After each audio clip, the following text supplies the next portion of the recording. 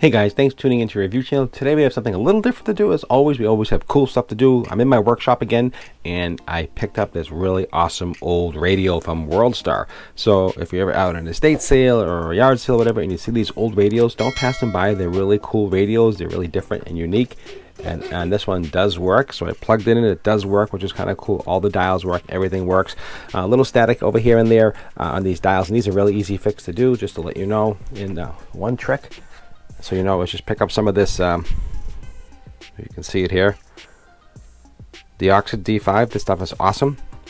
You spray this on any of the old electronics and it just cleans it right up and you get that static, it's gone. So that's your first tip right there. So all the like knobs and everything like, then you get that static, the old, the old fashioned static, clean, crappy noise, whatever. So I did all that to all the knobs. I cleaned everything up here. This little noise here is just the, if you can hear that, that's just a wire in there and unfortunately they really can't do it. I don't want to fool around with that because I don't want to mess around with the wire with the um, with the string for the tuning.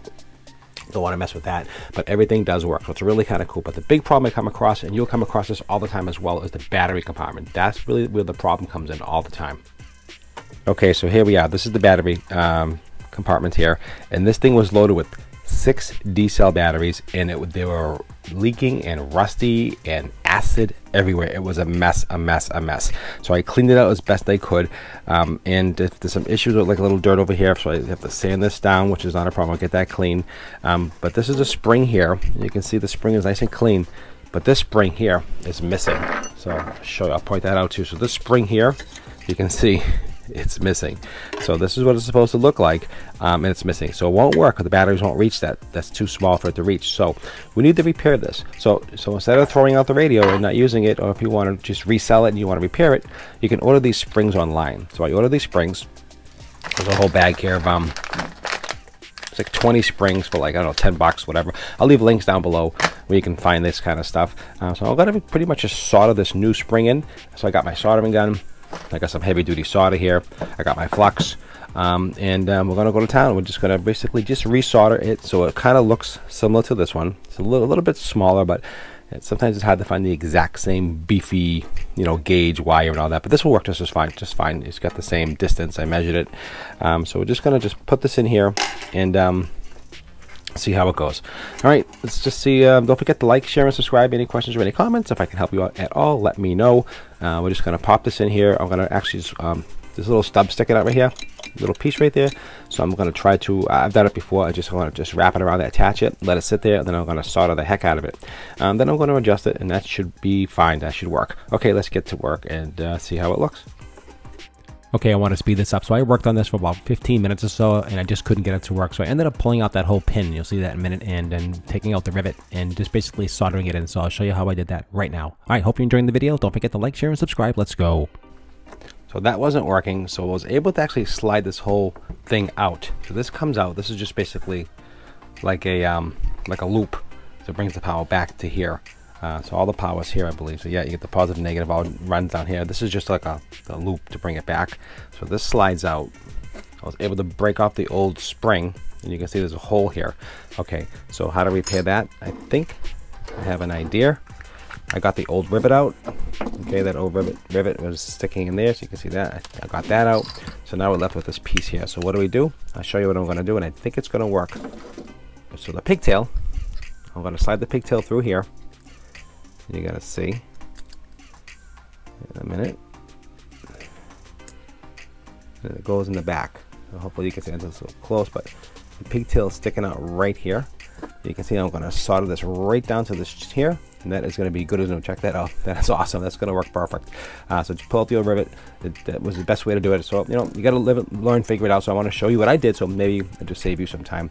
Uh, so I'm just to solder this right down here. Hopefully that'll work real easy. Let's get some flux. Let's get the soldering gun going. Okay, so I wanted to speed this up as well. This took a few minutes because I kept on falling and holding it. So make sure you use a tool to hold it. That's going to get really hot. So I used a pair of uh, needle nose pliers to hold it. I used a beef, uh, my real beefy soldering gun, and that really worked really, really well.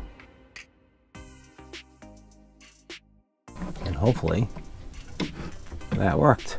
Let's see. Oh yeah, beautiful. That's hot. Ooh, yep and that is in there that is soldered that ain't going anywhere that's a good connection Yep, there you go. And then we're just going to pop that back in and we're going to straighten out the spring and that should work absolutely perfect. Just the idea just to get that on there is really kind of cool. Move this, straighten this out a little bit before I put it back in into the channel. Pop this down.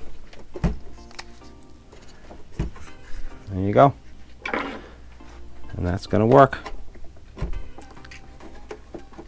And done. So, it doesn't have to be perfect because it's just hitting the battery.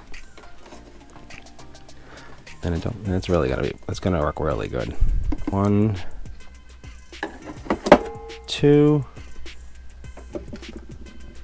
and one more with the spring. Spring pushes down and pushes in. There you go. So the spring, so hopefully you can see there, is compressing the battery. It is touching it, pushing everything down, and then the next set of batteries go this way and pushes against this, and this battery is going to rock and roll. Okay, guys, so that's it. Okay, guys, so what I wanted to do here, just do a, just a, a quick uh, follow up with that. So you saw how I put the spring in, um, and I'm actually short a battery, uh, but I will work with five batteries. You don't necessarily need six, so it's just so you know. Uh, so I'm just going to jump the battery and just show you that it does work. So I did the spring down there as you saw before, and I already have the radio on. I'm just going to pop this in and connect it, and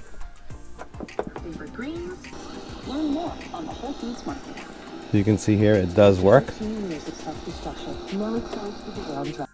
Okay guys, so I just wanted to let you know that it does work. It works perfectly. You can see I'm just connecting the battery and reconnecting it and you can see it does work. All right, so hope I brought you some value. I appreciate it. Uh, don't forget to like, share, and subscribe. Uh, it helps me so I can continue helping you. Okay guys, and I'll see you at the next review.